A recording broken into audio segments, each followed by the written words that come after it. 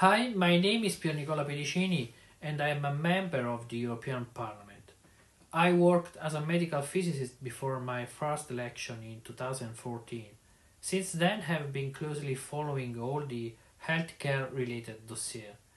Today we celebrate the 15th European Patients' Right Day while still in the midst of the COVID-19 pandemic. Severely affected by this burden, our health systems have failed to adapt in many regions. We are uh, witnessing an alarming growth of deliberate disinformation and unintentional misinformation, with governments fighting this battle imposing mandatory policies instead of listening to the needs of citizens and patients. I would like to remind all of us about the important role of healthcare professionals in improving vaccine confidence, remove hesitancy, and increasing public awareness.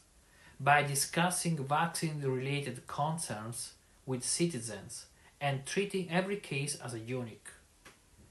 As a politicians, we also have the responsibility to provide transparent and objective information to the public.